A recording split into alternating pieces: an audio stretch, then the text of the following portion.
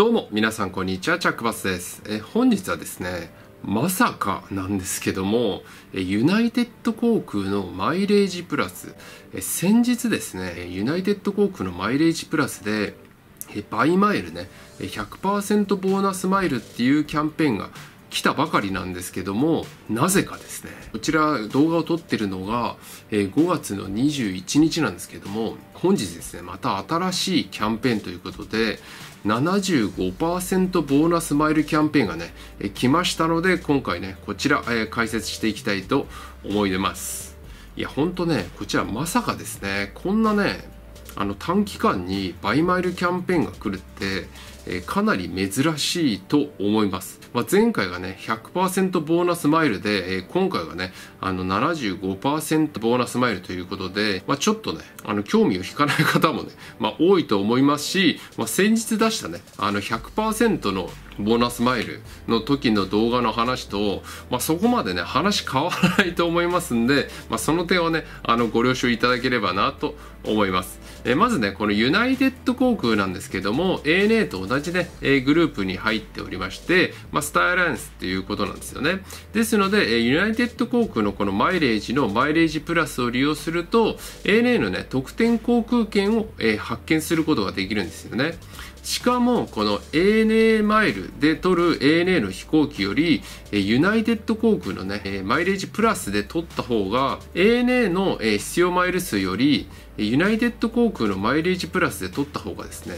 必要マイル数がね少ないマイルでね行くことができますんで日本人の方ねかなり人気のマイレージサービスになっております。ANA マイルね、JAL マイルなどもこういうね、バイマイルキャンペーンみたいなのがね、あれば、まあ皆さん参戦する方ね、かなり多いと思うんですけども、え国内の航空会社はね、こういうバイマイルっていうのはね、あの、やってないんですよね。ですけども、間接的に、えー、購入することは可能です。まあ動画でね、あの、一度解説出させていただいてるんですけども、えー、ドットマネーの月額案件を利用して、コンテンツを利用した金額はそのまま100%とかね、105%とか100%、108%とかでね、そのままポイントバックする案件なんかがありまして、まあ、そちらをね、実際に利用して、まあ、1万円払って1万ポイントもらうみたいな感じですよね。まあ、そんな感じで、まあ、倍ポイントみたいな感じで、まあ、それをね、えー、マイルに交換することによって、まあ、倍マイルみたいな感じでね、えー、利用することができるんですけども、基本的にはですね、ANA とか JAL とかですね、この倍マイルっていうのは基本的にはやってってないんですよね。ですけどもこういう海外のね外資系のマイレージサービスはこのバイマイルというのはね結構ガンガンやっておりまして、まあ、今回ねあのユナイテッド航空のマイレージプラスは、えー、ボーナスマイルキャンペーンということで、えー、購入したねマイルにさらにボーナスマイルがつくというキャンペーンなんですけども普段もね基本的にあのバイマイルっていう行為はできます。ですけども今回は75%ボーナスマイルっていう感じになってるんですよね。非常事態宣言がですね徐々に解除されて、まあ、私神奈川なんですけどもまだねあの東東京神奈川とか千葉埼玉とかですねまだこの非常事態宣言ね、解除されておりませんので、まあ、なかなかね、利用できる、えー、環境ではないかもしれないんですけども、ユナイテッド航空のこのマイレージプラス自体は、まあ、有効期限もないので、まあ、購入すること自体にはですね、まあ、いけるようになったらね、利用できればなっていう感じなんですよね。えー、それではですね、ユナイテッド航空のマイレージプラスについてなんですけども、えー、特典航空券はね、えー、誰にでも発見することができます。ANA とかね、あの、親族じゃないと ANA マイルを使う場合、あの、利用先っていうのは限られるんですけども、マイレージプラスの場合はそういう制限がありませんので誰にでも発見することができます。ですんでまあお友達とかねあの彼氏彼女とかを誘ってねあの利用するみたいなこともできます。でマイレージプラスの有効期限は無期限っていうふうになってますんでまあ、基本的にねあの有効期限を迎えるってことがないので、まあ、貯めた分をね基本的にずっとあの保有していくことができます。で必要マイル数なんですけども、えー、距離でいう800マイル区間は、えー、5000マイルで行くことができます。こちらで ANA 便だけちょっと先日ね解約がありまして5500マイルなんですけども、まあ、基本的にはですね5000マイルからまあ5500マイルでね利用することができます。この800マイル区間っていうのが、え羽田でいうると福岡とか札幌こちらのマイル数に入ってきます。羽田沖縄とかのね801マイル以上の区間は8000マイルっていう風になってましてこちら ANA 便だとね9000マイルっていう風になっております。で一番ねあの拠点としてね一番おすすめのエリアなんですけども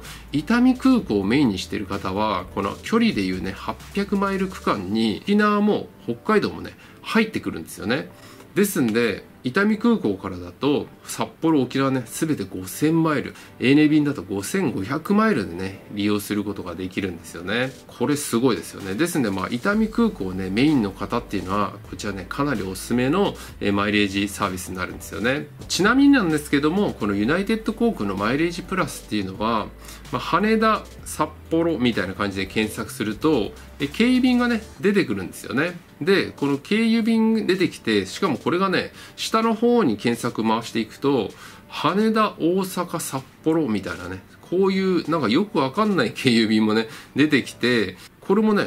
利用することができるんですよね。で乗り継ぎ時間がね本当に多い時には20時間とかねあるようなフライトっていう風になりますんで、まあ、羽田から札幌の旅行なんだけどその間にね大阪1泊楽しむみたいなね、まあ、そんな感じの利用方法もできますんでこの利用方法で発見するとですね、まあ、今回のバイマイルキャンペーンは、え、75%なんですけどもこういうのを利用するとね利用価値はね高くなるんですよね。というのもやっぱり空港をまたぐということは、まあ、空港のね、まあ、もちろんその時間も楽しめるのももちろんなんですけども、えー、私みたいにねあのステータスを持たれている方は行った先のねラウンジももちろん利用することができますんで、まあ、そういう楽しみ方もねありますよね。であとねちなみになんですけどもこちら ANA 側ではですね発見できない、まあ、特典航空券の区間国内区間があるんですけどもこれがねなぜかねユナイテッド航空のマイレージプラスだとあの半年以上の先のね特典航空券発見できたりするんですよね。まあ、これはねなんでできるかちょっと分かんないんですけどもまあ国際線扱いになってんのかなっていう感じなんですけどもまあ一応ねあのユナイテッド航空のマイレージプラスね、まあ、これから利用していきたいみたいな方はね是非覚えておいておくと結構便利にね使うことができます。で、えー、気をつけていただきたいところなんですけどもこちら特典航空券からだいたい30日ぐらいの以内でね、えー、利用する特典航空券の場合、まあ、緊急発見手数料みたいな感じで、まあ、本来5000マイルから5500マイル区間を発見しようと思った場合これが20日から30日とかねそのぐらいのすぐ利用するようなね航空券だとあの本来5000マイル区間が8500マイルとかね3500マイルねアップするっていう風になっておりますんでこの点はねあの注意しておいてください。で次にね、え、変更キャンセルについてなんですけども、えー、登場の60日以上前なら75ドル。えー、60日以内なら125ドルの、ね、手数料がかかります。で、えー、発券後24時間以内は、えー、キャンセルね、無料というふうになっております。で、こちら、えー、ユナイテッド航空のマイレージサービスは、まあ、国際線利用するときにね、燃油サーチャージってありますよね。あちらはね、かからないマイレージサービスになっております。で、えー、注意点ね、もう一つあるんですけども、ユナイテッド航空のこのマイレージプラスっていうのは、ユナイテッド航空の特典航空券で ANA のね、あの飛行機は乗れるんですけども、こちら国内線っていうのはね、あの必要マイル数も少なめで、まあ、とてもおすすめなんですけども、これがね、国際線になると一気にも必要マイル数上がりますんで、まあ、その点はね、あの注意してください。国際線を視野に入れていく場合は、ANA マイルとかね、JAL マイルの方が基本的に必要マイル数が少ないです。ちなみに、ね、東京、ニューヨークのね、ビジネスクラスで言うと、ユナイテッド航空のね、えー、マイルで行くと、えー、片道で8万8000マイルかかるんですよね。これが ANA のビジネスクラスで発券すると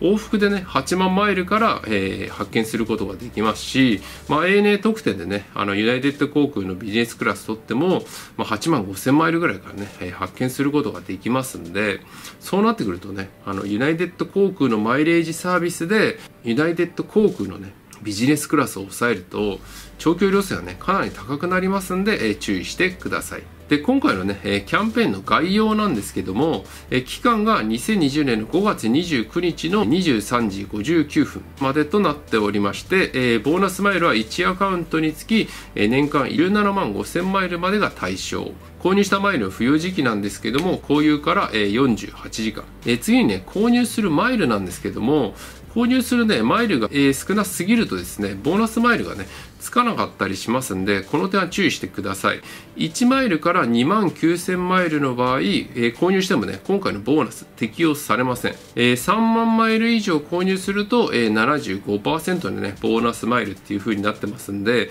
もし今回のこ、えー、キャンペーンでね購入されるっていう方は、え、必ず3万マイル以上ね、えー、購入するようにしてくださいね。これ3万マイル以上購入しないと、えー、ただマイルを買っただけっていう感じになりますからね。こちら仮に3万マイルをね購入すると、え、75%のボーナスがつきますので、え、合計でね5万2500マイルが獲得することができます。で金額は、えー、11万9397円ということでこちらねマイル単価にするとですね、えー、マイル単価は2.2円ということで一般的にはですね、えー、1マイルの価値っていうのは大体2円ぐらいって言われておりますんでちょっとね2円をちょっと超えてきてるんであのー、先日のね100%ボーナスに比べるとちょっとねあのー、インパクトがね薄いかなっていう感じなんですね。で一応ね大体で計算すると今回のねボーナスマイルキャンペーンの方が一応お得になる可能性も結構高いのでもしね今後利用先が見つかってるようであればあのその航空券を普通に購入して利用した方が安いのか、えー、今回のこのボーナスマイルでね購入した方が安いのかねあの検討する必要があるっていう感じですね。ちなみになんですけどもえ今回ね5万マイル、えー、5万2500マイルがね獲得できるわけなんですけども東京福岡、えー、東京札幌などの路線だと、えー、1人ならね5往復できるっていう感じでまあご夫婦の方とかだとね、えー、2.5往復っていう風になりますんでそうなってくると、えー、大体ね簡単に東京ね、えー、札幌2人分ね、えー、一番安い、えー、価格で調べてみたんですけども、えー、大体このぐらいの、えー、金額になるわけなんですよね。まあ、これが2.5回分っていう考えると、まあね、一応15万円ぐらいね、えー、していきますんで、まあ、今回のね、購入額よりかは、まあ、ちょっと少ないので、えー、現金で購入するよりかはですね、まあ、若干安いんじゃないかなと思います。ですので、これもね、あの、緻密な計算をしていただいて、まあ、どっちが安いかね、まあ、天秤にかけていただくっていうのがね、ちょっと必要になるかなっていう感じですね。えー、最後にですね、今回のこのユナイテッド航空の、えー、マイレージプラスの購入についてなんですけども、結構こちら動画で解説させていただいてるんですけども、アメリカ版のね、ポイントサイト、トップキャッシュバックっていうのが、えー、ユナイテッド航空のマイレージプラスの購入に対して2.5%還元がね、え出ておりますんで、え今回ね、仮に4万マイルをね、購入した場合、11万9397円っていう風になりますんで、え大体ね、3000円分ぐらいはね、トップキャッシュバックを経由すると、あの、ポイントバックされますんで、まあ、こちら、ポイントバックされたポイントは、えー、ペイパルっていうのをね、経由して、銀行振込とかにね、して出金することもできますんで、まあ、一応ね、3000円返ってくるんだったら、まあ、悪くないですよね。まあ、これはもちろん、あの、2.5%分なんで、まあ、すごいたくさん返ってくるわけじゃないんですけども、まあ、もらえないよりかはですね、ねあの、もらっておきましょうっていう感じですね。いかがだったでしょうか、えー、今回は、えー、ユナイテッド航空のね、えー、マイレージプラスボーナスバイマイルキャンペーン75%ボーナス、えー、今回解説させていただきましたけども、まあ、今回はね、えー、75%ということで、まあ、前回ね、えー、100%でしたので、まあ、ちょっとね、あの、見劣りしてしまう部分がありますけども、一応ね、ギリギリお得ラインかなっていう感じなんですよね。このトップキャッシュバックを含んで購入すると。っていう感じなんで、あの、もしね、今後、えー、国内線でね、あの、旅行を検討されている方はですね、あの、価格をね、あの、天秤にかけていただいて、利用するかね、判断していただければなと思います。えー、今回の動画はね、こんな感じで終わりたいと思います。この動画役に立った方は、いいね、チャンネル登録ぜひお願いいたします。私ブログ、ツイッターもやっておりますので、フォローとチェックしていただければとても嬉しいです。えー、私のチャンネルではですね、まあ、こういった ANA マイル、JAL マイル、各種ね、航空会社マイレージ、あとクレジットカード、お得情報とかね、あのー、マイルに関すること、まあ、全般っていう感じですかね、えー、発信させていただいておりますんで、もしよかったらね、ぜひチャンネル登録していただけるととても嬉しいです。えー、それではね、また次の動画でお会いいたしましょう。バイバイ